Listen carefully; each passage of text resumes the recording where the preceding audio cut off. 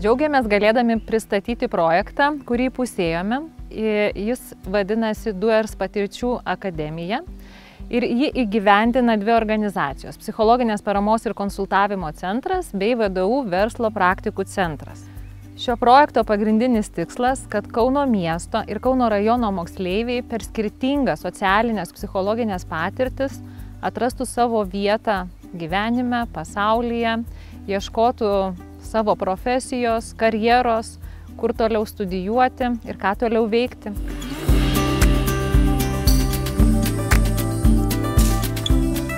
Šiame projekte man labiausiai įsiminė stovyklos, bendravimas su žmonėm, e, paskaitos, geras laikas. Įgyjau labai daug patirties e, kalbėjimo viešai tikriausiai, nes anksčiau labai bijojau tai daryti ir po stovyklų ir po kelių paskaitų jau yra drąsiau lipti ant scenos, kalbėti, pasakoti. Taip pat stovyklose buvo labai smagu bendrauti su naujais draugais ir nuoširdžiais mentoriais.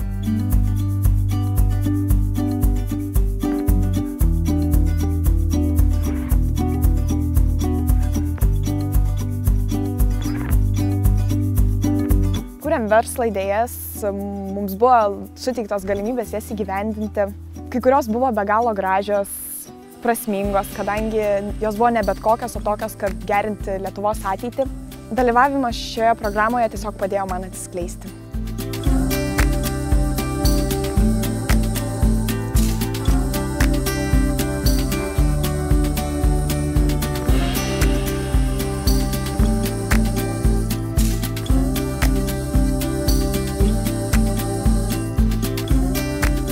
Šioje programoje, šiame projekte įgytas žinias galėsiu drąsiai naudoti ateityje, nes visų pirma bus lengviau bendrauti su nepažįstami žmonėmis, lengviau kalbėti viešai prieš nežinomas auditorijas, didelės auditorijas.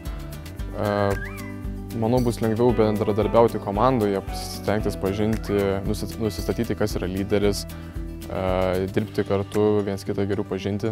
Taigi visos žinios ir patirtis įgytos šiame projekte tikrai nepraėjo veltui.